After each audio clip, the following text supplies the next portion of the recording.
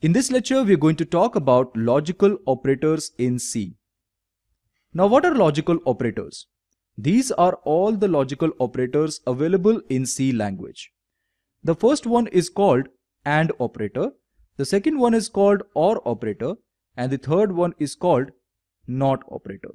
These are two ampersands which are representing AND operator. These are two pipe symbols which are representing OR operator. This is an exclamation mark which is representing a NOT operator. Now let's try to understand these operators one by one. AND and OR are used to combine two conditions. Simple. They are used to combine two conditions. AND returns true when all the conditions under consideration are true. That simply means if all the conditions are true, then only it will return true. And it returns false when any one or more than one condition is false. For example, here you can see I have declared a variable and assigned it a value 5.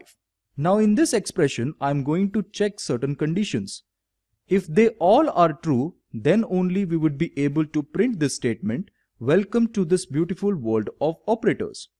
Because we know the functionality of if construct, if condition inside these round brackets evaluates to true, then only we would get inside this if construct and we would be able to print this statement. Now we know this thing that AND operator is used to combine multiple conditions. Therefore, in this case, if all the conditions are true, then only this expression is true and we would be able to print this statement. As we know this thing that a is equal to 5 because 5 is equals to 5 therefore this condition is true. 5 is not equals to 6 as a is equals to 5 we are simply placing the value 5 here. 5 is not equals to 6 therefore this is also true. 5 is less than equals to 56 this is also true. 5 is greater than 4 yes this is also true. This simply means that all the conditions are satisfied therefore the final result would be true. And here we would be able to print the statement, welcome to this beautiful world of operators. Now what happens when we use OR operator instead of AND operator? OR returns true when one or more than one condition under consideration is true. Please note down this thing. OR returns true when one or more than one condition under consideration is true. Even though if one condition is true, then OR will return true and return false when all the conditions under consideration are false. Let's consider one example. We are going to evaluate this expression and if this expression returns true, then we are simply going to print welcome to this beautiful world of operators. We know this thing that 5 is equals to 5 but here we are using an operator not equal to. 5 not equal to 5 is false. Therefore this condition is false. 5 is equals to 6 is also false. 5 is greater than equals to 56 is also false, while 5 is greater than 4 is true. As one condition is satisfied, therefore this whole expression will return true and we are going to print this statement, welcome to this beautiful world of operators. This is very simple to understand. If suppose this condition is also false, then we simply get out of this construct and we won't be able to print this statement. Now let's talk about the NOT operator. NOT operator is used to complement the condition under consideration. Now what is the meaning of complement? NOT returns true when condition is false and returns false when condition is true. Complement simply means that true will get changed to false and false will get changed to true. Simple. When the condition is false, it returns true. And when the condition is true, it returns false. Let's try to understand this concept better with the help of one example. Here you can see inside this if construct, I have declared one expression a equal to 6 and I used a not operator in front of this expression. We know this thing that 5 is not equals to 6. Therefore, this condition evaluates to false. Because of this NOT operator, false finally becomes true. Overall, this condition evaluates to true. And finally, we would be able to print this statement again. If we are simply placing a not equal to operator instead of an equal to operator, then in that case this condition evaluates to true and not operator will result false finally. Then we would not be able to print this statement welcome to this beautiful world of operators. This is very simple to understand. Now let's consider the concept of short circuit in logical operators. Short circuit in case of AND simply means if there is a condition anywhere in the expression that returns false, then the rest of the conditions after that will not be evaluated. This is very important point. Here the concept of short circuit is important in logical operators because this will save a lot of time. Let us consider one example in order to understand the concept of short circuit. Here you can see in this example I have declared a variable a and assigned it a value 5 and I declared another variable b and assigned it a value 3. Here I also declared another variable incr and I'm going to assign an expression to this variable and simply print the result of this expression using this printf function. And inside this printf function I'm going to print the value of b. Now we need to understand what is the purpose of this expression. And let's try to understand the concept of short circuit in this case. Here short circuit simply means if suppose this condition evaluates to false, then this will not get evaluated. As we know in this case, A is not less than B, which is a false condition. Because false and anything will simply return false.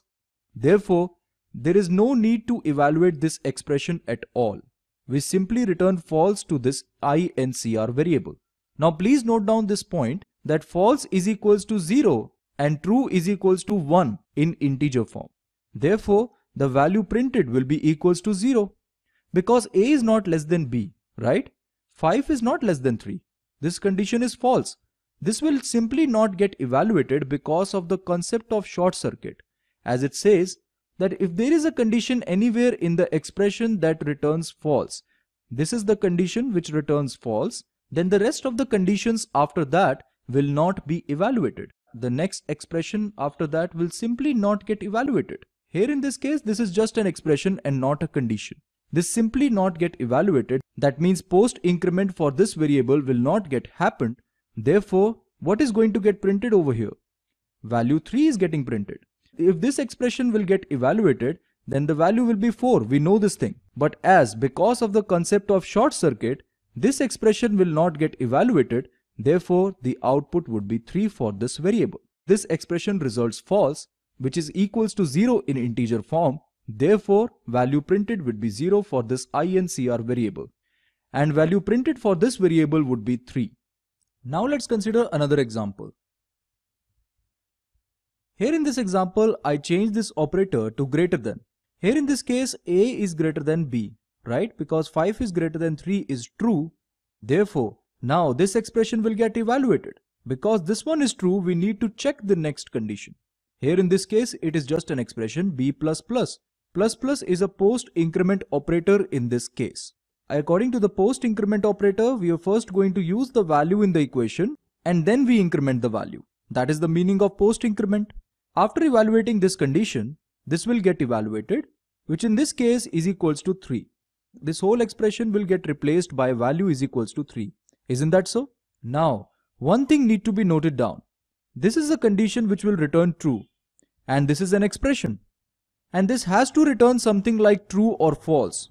Because we know this thing AND operator is used to combine two conditions. And here in this case, this is an expression. So this also needs to return either true or false. Like this particular condition. Now this will return a value is equals to 3. If an expression returns a value other than 0, then that will be treated as a true value. Here in this case, this will return value is equals to 3. Therefore, it will be treated as a true value. Therefore, overall expression will return true only to this incr variable. incr will print value is equals to 1 as incr contains value is equals to 1 therefore 1 is printed with the help of this printf function and because this expression is also evaluated, therefore, according to the post increment, this will get incremented after the completion of this expression. Value previously is equals to 3 and now the value will become 4 in this case. Therefore, the output would be 1 and 4. 1 for this INCR and 4 for this B variable. Now there are two important points that I told you in the previous example and in this example. The first point is that false is equals to 0 and true is equals to 1 in integer form. Apart from that, if you have an expression like this instead of a condition, then the value returned by this expression, if it is other than 0, then that value will be treated as a true value. In this example, therefore, this expression is true and this one is also true, overall expression will be true. I am considering the point of short circuit in case of OR operator. Short circuit in case of OR simply means if there is a condition anywhere in the expression that returns true, then the rest of the conditions after that will not be evaluated. When you find out one condition which evaluates to true, then the rest of the condition will not get evaluated after that because we know this thing in case of OR, if any one condition is true, then the overall result will be true. Therefore, the final result is true and there is no need of evaluating the rest of the expressions. That is the concept of short circuit in case of OR operator. Here in this case, expression is A greater than B or b++. plus. a is greater than b is true because 5 is greater than 3 is true. And here the operator is OR. According to the concept of short circuit, if one condition evaluates to true, then the rest of the conditions will not get evaluated. Therefore, this b++ will simply not get evaluated in this expression. And the result of this expression would be true only. Therefore, INCR would contain value is equals to 1 and b variable is not getting incremented because this will simply not get evaluated in this expression. Therefore, the output would be 1 and 3. 1 for INCR because this expression is true and 3 because this value is not incremented. Okay friends, this is it for now. Thank you for watching this lecture.